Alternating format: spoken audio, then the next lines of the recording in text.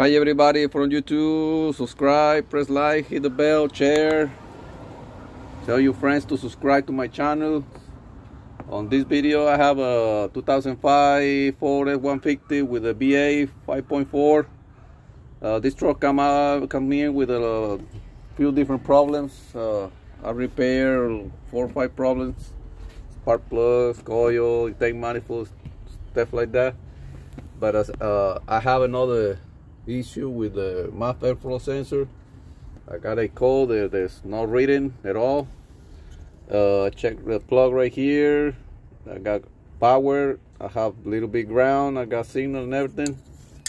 And I start checking my wires and uh, somebody get into this side of the computer and uh, cut cut some wires and do something to bypass the crankshaft sensor signal. Uh, talk to the owner. They say they they did fix that because it wasn't started at, or, at all or something.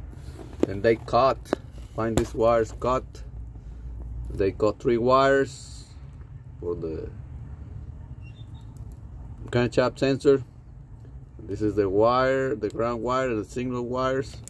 But on the bottom, that that ground wire divide to like three or four wires getting the signal ground signal to another sensors and that's what happened. They eliminate those signals those uh, ground signals and make another sensors to make it not, not to work right. So there you have it. Check your wires check your connections talk to the owner and see if they do something to it before you start digging and looking and pulling your hair off try to find the problem.